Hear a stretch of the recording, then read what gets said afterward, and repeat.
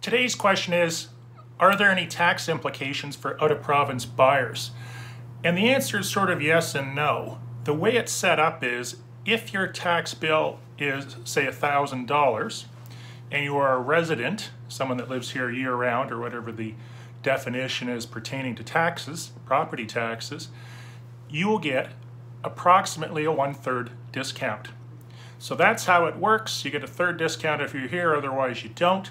One thing to keep in mind and always watch is your assessment value to make sure that the government isn't over-assessing you or charging you taxes on a value that exceeds the actual value of the property. Have a great day. Be sure to subscribe and hit the little bell symbol. Thanks for watching.